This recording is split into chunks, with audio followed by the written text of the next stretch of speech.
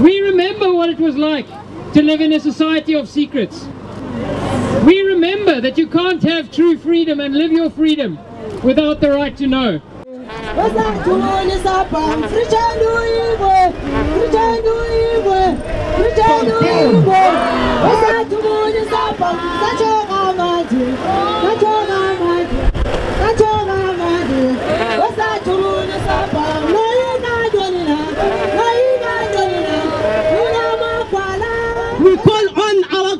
Government not to undermine the constitution of South Africa.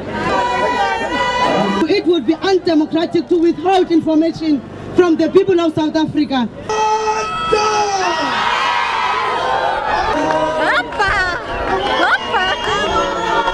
We believe that the ruling party should engage with various lobby groups.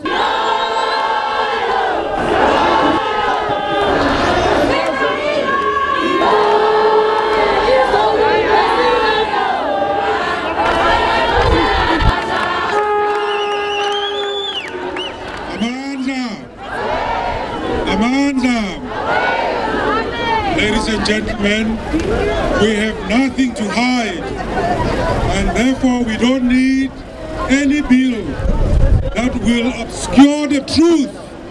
The truth will set us free. I'm, I'm ashamed for the first time in my life to speak in front of my parliament.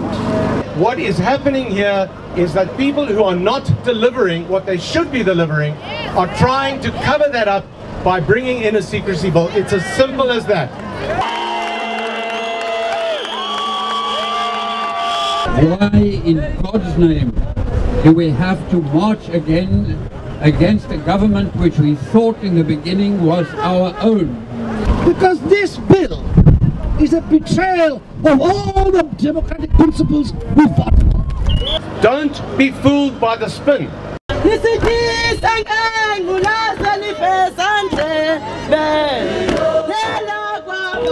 we had 3,000 Cape Townians here today marching from District 6. We want you to take the message to the Speaker of Parliament and we want you to please tell Minister Siyabonga Cwele that we reject his secrecy bill.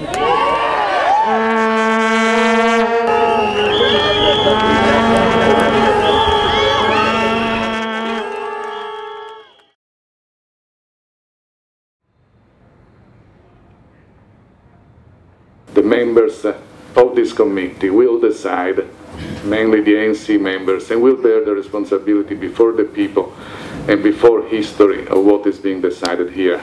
So I think that we must move away from malicious mischief of frightening South Africans and telling them that there is an intention on the part of the state to conceal corruption, to classify willy-nilly, to give authority to every Jack and Jill to classify anyhow, anywhere, every piece of information. If our constitution means anything, it means that you have to be able to justify every decision, whether it is ours in writing a law or that of an official um, deciding whether or not to classify a document. Human rights must supersede secrecy and must supersede uh, state information. That is our crime battle. I want to assure the media, I want to sh- assure South Africans today that if there is a principle we will never deviate from. And we could therefore take out sections 5, 6, 7, 8, 9, 10, 11, uh, the national interest, and from chapter 10 onwards, again, you can draw a line through almost everything.